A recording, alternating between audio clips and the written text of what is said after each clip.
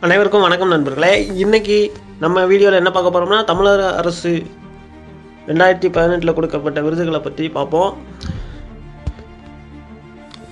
முதலில் வந்து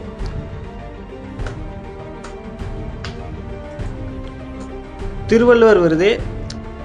திருவள்ளுவர் விருது வந்து கோ பெரியண்ணனுக்கு கொடுத்துருக்காங்க. அதுக்கு ஷார்ட்கட் என்னென்னா திருவள்ளுவர் சிலை ரொம்ப- மிகப்பெரியதாக இருக்கும்.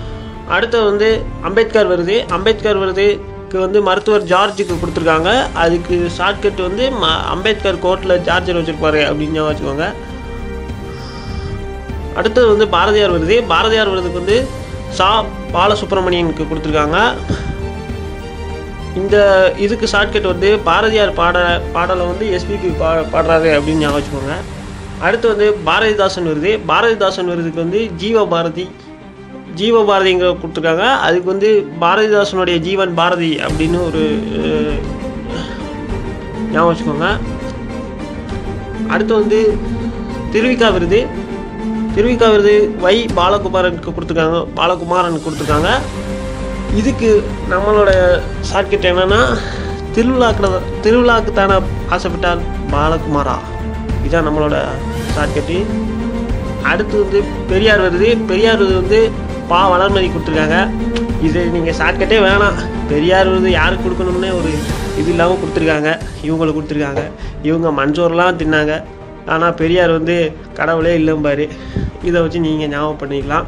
அடுத்து வந்து பார்த்தீங்கன்னா அண்ணா விருது அண்ணா விருது வந்து ஆ ஆ சுப்பிரமணியனுக்கு கொடுத்துருக்காங்க. இதுக்கு ஷார்ட்கட் என்னென்னா அண்ணன் விநாயகர் தம்பி சுப்பிரமணியன் அப்படின்னு ஞாபகம் வச்சுக்கோங்க. அடுத்து வந்து காமராஜர் விருது காமராஜர் விருது வந்து தினகரனுக்கு கொடுத்துருக்காங்க. இது இதுக்கும் நம்ம அடுத்த இதை பார்ப்போம். அடுத்து வந்து கி. ஆ. பே. விஸ்வநாதன் விருது வந்து மருதநாயகத்துக்கு கொடுத்துருக்காங்க. இது எப்படி ஞாபகம் வச்சுக்கிறேன்னு பார்த்தீங்கன்னா விஸ்வரூபம் மருதநாயகம் அப்படிங்கிற கமல் படங்களை ஞாபகம் வச்சுக்கோங்க.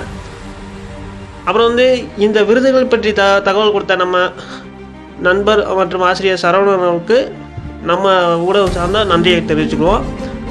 கைஸ் அந்த வீடியோ உங்களுக்கு பிடிச்சிருந்தா லைக் பண்ணுங்கள் ஷேர் பண்ணுங்கள் கமெண்ட் பண்ணுங்கள் கண்டிப்பாக ஷேர் பண்ணுங்கள் இந்த இது வந்து ஒரு டிப்ஸ் மாதிரி கையில் வச்சுக்கிட்டிங்கன்னா உங்களுக்கு ஞாபகம் இருக்கும்.